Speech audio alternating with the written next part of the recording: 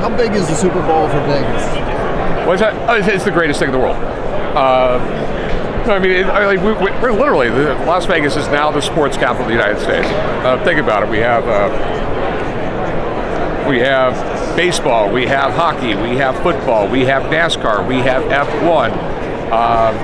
We will most likely have basketball within, yeah, very, very soon.